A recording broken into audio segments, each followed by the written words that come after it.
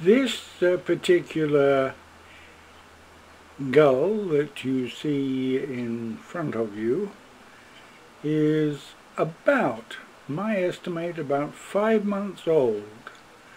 And this being sort of the latter part of October it means that it was born sometime in May.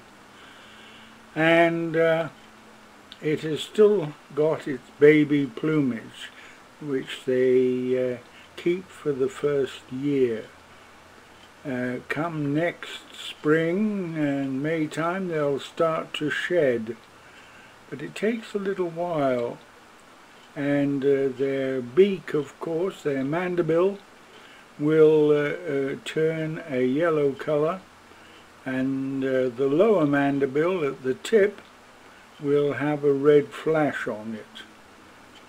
Now this uh, little fellow uh, I took with a camera, a Sony camera, an A35 with a uh, 75 to 300 uh, micro uh, lens.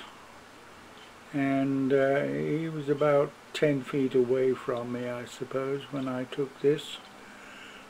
And as I say, you're hope, uh, hopeful you're going to feed birds in your garden in Cookham and uh, this winter and uh, get them to come to the feeding table regularly and that's where you'll be able to take some photographs.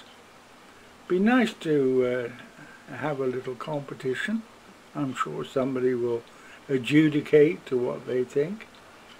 But uh, this particular gull is uh, has had to fend for itself as soon as it could fly. As soon as the bird uh, takes wing, uh, it's uh, on its own. The parents do not feed them after that. They squawk up to their parents and the parents uh, ignore them and that's, that's a sad part about it. Anyway, I hope you like this little photograph. Bye for now.